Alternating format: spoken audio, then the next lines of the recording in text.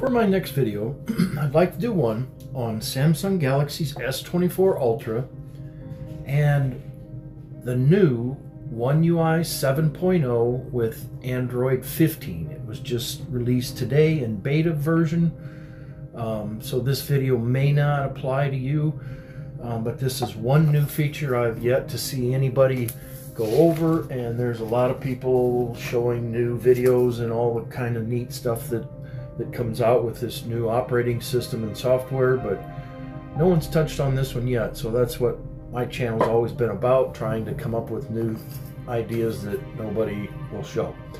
So again, this is One UI 7 and Android 15. Um, just came out last night. Um, so this will be released to a lot of different Samsung devices eventually. Um, right now it's the 22, 23, 24. I don't believe any tablets, but eventually all the Samsung devices pretty much within the last four to five years will have this. So let's dig right in. So this one is about your directories, your website folders, and how to make them larger. So right now I don't know of any way to make one bigger. You tap on it, there's what it is. Um, but you can enlarge this now. So tap and hold and you'll see this right here, enlarge. So go ahead and enlarge it. Now, wherever we go, our website, or I'm sorry, that's the name of the folder there, our folder will be enlarged instead of a little small one, like say this one right here, my news one, um, contains three apps in it. The only downside to this is you've got to kind of rearrange things. So like say I want to enlarge this one, it'll give me this message, can enlarge because there's not enough space around it.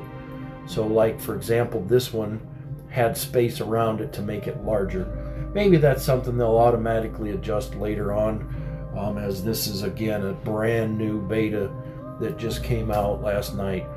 Um, and the way to fix this to go back is just tap and hold and then shrink and it goes back to the regular size.